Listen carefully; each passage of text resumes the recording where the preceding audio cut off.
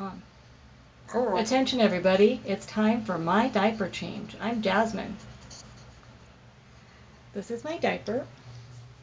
Mommy and Daddy have cut some cuts on the sides and the legs, and at the top, that's right there, and then at the top where it goes around my waist. So, what Daddy's going to do is turn the diaper over. Diaper changing 101. That's, That's really sucks.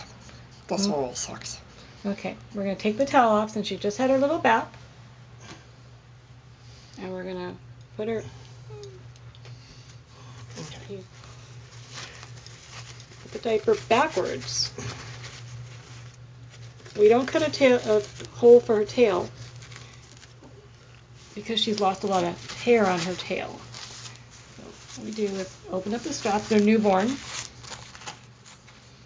And basically just reach around and get an anchor on one side, and then reach around and get, you know, she's licking my hand, get an anchor on the on the other side. Okay, this Make is how to do it. One person can do it at a time. So for those of And you, then tuck to make sure make sure that her legs are both through. make sure her hips are out. and her For hips are those up. of you who are gun shy about doing diapers, it can be done by yourself. You know, then of course make sure that her tail's in there, nothing's hanging out.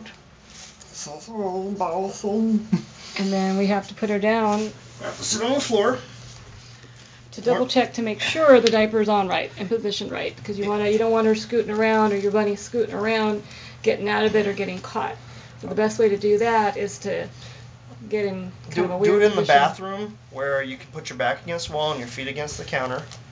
And then in the case of her, she can do this. Not everybody's going to be able to do this. She But I doesn't wiggle as much I much put as her some paw, bunnies. put her paws and her everything right like that. I'm not, I'm not, I'm holding her shoulders, and then I Mm. basically one down there, and make sure the tabs are out Your completely. hand's right in the way. And again, these are the newborns, and you want to be able to attach it backwards so you can make sure that everything is attached properly. Make sure there's no gaps. Make, sure, everything. that the hips are out, and Can I go now, please? we're done. Love you. Bye.